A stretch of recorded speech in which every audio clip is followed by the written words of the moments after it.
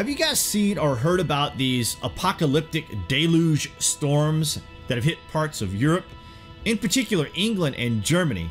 We're talking about a few months worth of rain that was dumped onto highly populated areas in less than an hour. It has been described as biblical, and this has only just begun and is a strong reminder to us that the forces of the earth are not to be taken for granted. We never seen these storms coming. There was no real warning it was going to happen on this scale, Yet in the very ancient times, we did get the warnings of deluge and of the Great Flood.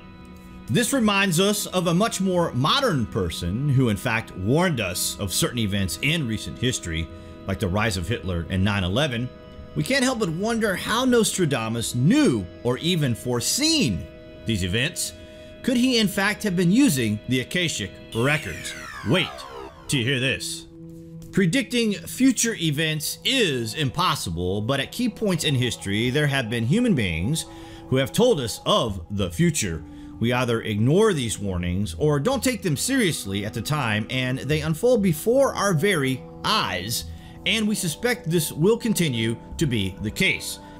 Nostradamus describes an event in this way Two birds will fall from the sky on the metropolis the sky will burn at 45 degrees latitude. Fire approaches the great new city. Immediately, a huge, scattered flame leaps up within months. Rivers will flow with blood. The undead will roam the earth for little time. This was known to us before the attacks on the World Trade Center, but how could we ever have thought this would be the location or even that this would be done using planes? He described what he's seen, meaning he envisioned this, and to the best wording of his time, wrote what he saw. This was accurate, but only in the context that we have placed it. Is it really describing the New York attacks? It is obvious, however, that Nostradamus was making himself lucid in his dream time for the purpose of traveling to a realm in the universe where all knowledge of events past and present not only exist, but are available almost at will to view by anyone who knows the secret of visiting such a place. This was something he practiced throughout his life, and it took him to this realm where he could tap into and see future events. But what brought this man's attention to such a realm? How did he discover the Akashic records? Was this something that he stumbled upon in his student years, or was he guided to this knowledge for a higher purpose?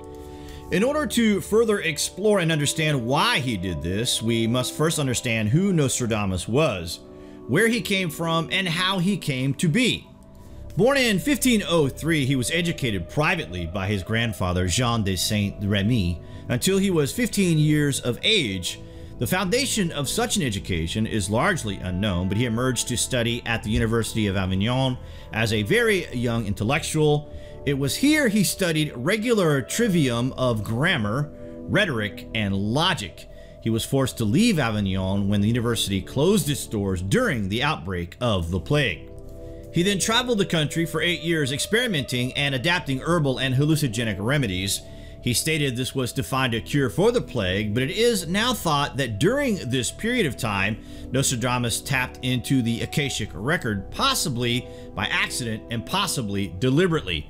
Either way, he was now armed with knowledge that, given time, he would take the world by storm.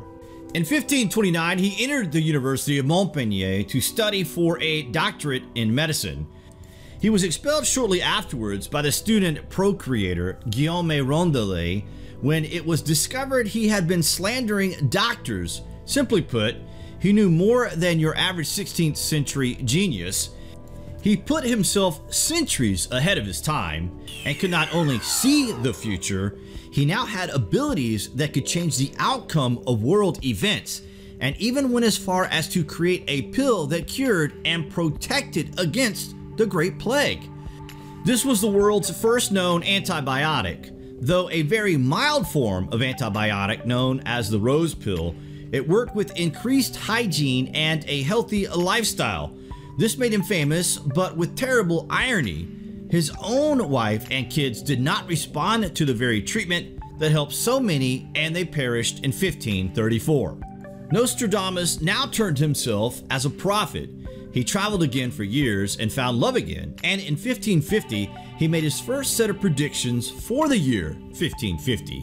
He said these predictions were based on astronomical calculations and visions. What he had just described for the first time was, in fact, the Akashic Record. Five years later, he boldly began publishing long term predictions for future events in order to avoid religious persecution in his own lifetime.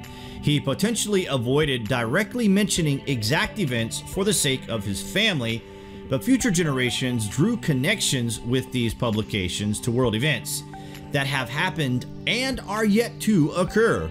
It's hard to understand that these events need to happen first in order for us to make the connection but it doesn't take away from the fact he was visiting the great realm where the Akashic resides. In ancient Sanskrit, the word Akashic means sky or space collection of mystical knowledge that is encoded in the a non-physical plane of existence. The concept is prevalent in New Age discourse and is considered pseudoscience. The Akashic records are understood to have existed since the beginning of the creation and even before. Just as we have various specialty libraries, there are said to exist various Akashic records encoding universal lore. Most writings refer to the Akashic records in the area of human experience, but it is understood that all phenomenal experience, as well as transcendental knowledge, is encoded therein. Those who champion the truth of the Akashic records assert that they were accessed by ancient people of various cultures. It is held that the ancient Indian sages knew that each soul or entity recorded every moment of its existence in a book, and that if one attuned oneself properly, then one could access that book. Nostradamus claimed to have gained access to the Akasha, predicting all world events from his lifetime to the present day and even far beyond. Some theorize that he even predicted the Third World War would be started in a dispute between India and China in the year 2031. Believers in the Akasha make many claims about how widely the Akasha was used, including the claim that the Vedas of Hindu and the language itself was extracted from Akasha. Or the claim that in Egypt, those who could read the Akasha were held in high standing and would advise the pharaohs on daily activities and dream interpretation. And of course, the claim that the Druid cultures of Ireland, Scotland, Wales, and England demonstrated the ability to access the Akasha. And also the claim that the Bible refers to Akashic records as the book of life in both the Old Testament and the New Testament, and Revelation 21:27, where it reads, Nothing impure will ever enter it, nor will anyone who does what is shameful or deceitful but only those whose names are written in the Lamb's Book of Life. These records exist for all life. We are all part of it. It's crazy to think like this, but we can utilize it for the greater good of humanity and other life on the earth, but first we must achieve enlightenment. This is not so easy to achieve, especially with all the temptation that surrounds us within our civilization.